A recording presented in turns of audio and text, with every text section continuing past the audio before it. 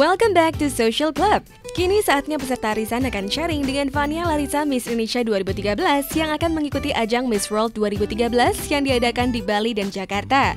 Penasaran kan apa yang akan mereka perbincangkan dan bagaimana pula persiapan Vania menghadapi ajang Miss World 2013 nanti? Hai semua. Hai,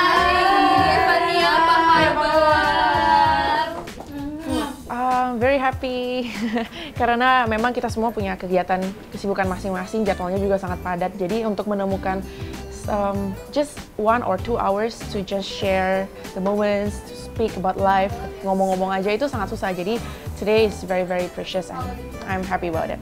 Good, kabar good. nih? Jadinya udah lama banget nggak ketemu kita. Iya gila, udah berapa Berapa bulan nih ya? So, Udah mau Miss World nih. I'm good, I'm good. Gimana persiapannya ceritain gitu dong. Kayak physical, persiapan fisik, Ah. apa yang dipelajari. Kurusan nggak? Bisa kurusan? Kurusan. Oke, oke. kurusan. Oke. Pasti berat banget fisiknya latihannya. Iya, ya kayak nonstop sih jadi nge-gym terus Mhm. terus um, su- berenang juga. Oke. Terus Muay Thai. Oh, itu Muay bagus Thai sekarang. buat bentuk Iya iya, jadi jadi berat badannya nggak terlalu berkurang, cuma jadi lebih tone gitu. lebih otot kan. Iya iya.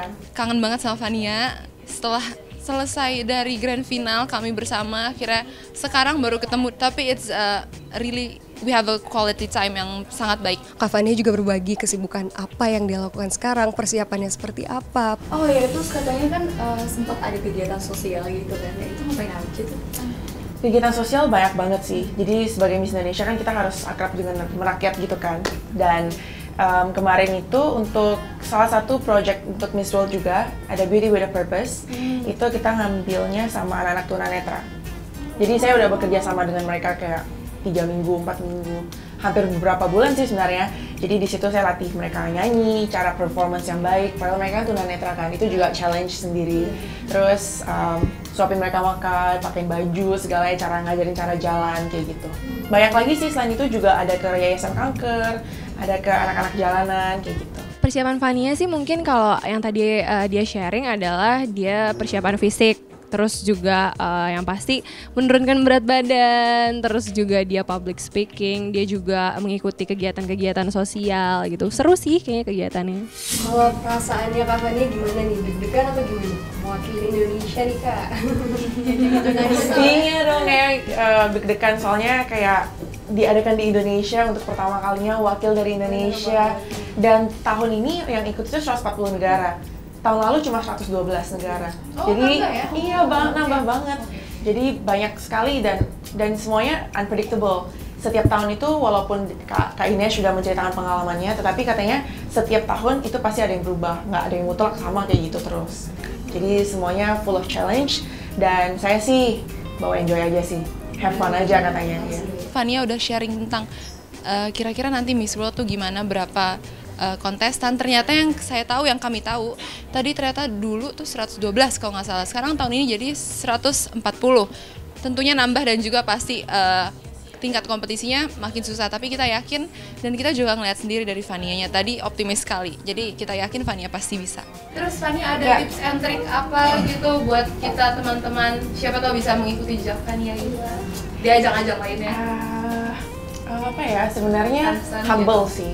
Stay humble dan jangan cepat puas. Jadi walaupun menurut kamu ini udah oke banget ya udah jangan stop just there. Kayak harus keep on improving improving improving dan jangan menyerah karena kalau saya dulu saya mengikuti um, kompetisi menyanyi. Semua mulai dari kalah kalah kalah terus juga. Habis itu makin kalah kita makin tahu mana yang harus diperbaiki mana yang harus diperbaiki terus berjuang terus latihan. Semakin baik semakin baik udah sampai di atas juga jangan jadi sombong. Terus tetap improving dan tetap mau mendengarkan kritik dan saran dari orang-orang lain. Karena waktu itu saya pernah jadi sombong jadi males latihan akhirnya jatuh lagi. Ulang lagi dari bawah kayak gitu intinya harus tetap rendah hati mendengarkan kritik dan saran dari orang-orang tapi yang membangun harus bisa pilih-pilih juga dan terus berjuang Yang aku ingat banget dari perkataan dia itu kalau kita mesti stay humble. Even when we are on top, kita tetap mesti stay humble, nggak boleh sombong.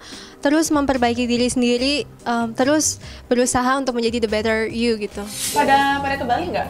Soalnya kita tanggal 8 8 September itu opening ceremony.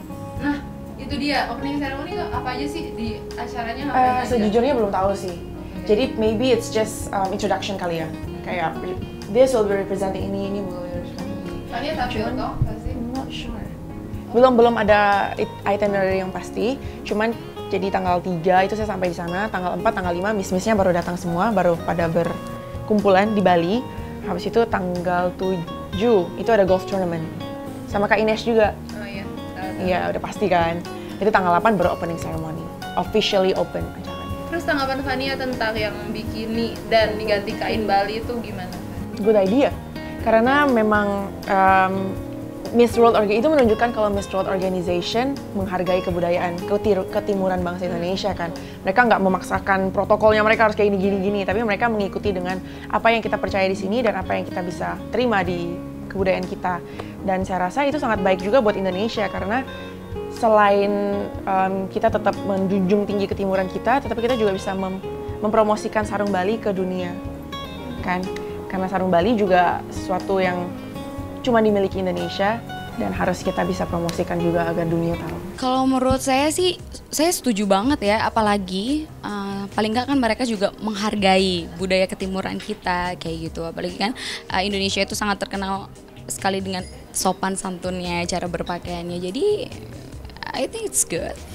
Uh, by the way, sorry banget nih, kayaknya udah harus pergi lagi soalnya hari ini lumayan padat juga ya. Ada masih ada persiapan Miss World lagi habis ini. Have fun you guys. Aduh. Semangat Thank buat you. dukung. Iya nih doa beneran doa. Kira-kira ada apa yang mau di-share biar publik Oh bisa dukung? iya ini um, bisa minta tolong nggak? Boleh. Jadi jadi di Miss World itu ada fast track multimedia. Di situ kita harus siapa yang bisa mendapatkan follower terbanyak. Nah dari sini kita ambilnya like dari dari fanpage like. Fanpage-nya itu Miss World Indonesia. Oke, sebarluaskan. Oke deh, yaudah bye bye. Thank you guys. See ya. Sayang banget Fania nggak bisa lama ikut eh, di kegiatan ini. Karena kan eh, dia juga sibuk, dia harus rekaman, dia harus ini, harus ini untuk mempersiapkan diri juga di Miss World nanti. kita sebagai teman-teman ya kita mungkin nggak bisa support secara langsung cuma kita bisa mendukung dengan dalam doa. Dan juga kalau misalnya kayak ada meetings kayak gini reunian tadi Fania kebetulan datang kita em, apa namanya support secara langsung secara mentally. Itu dia sih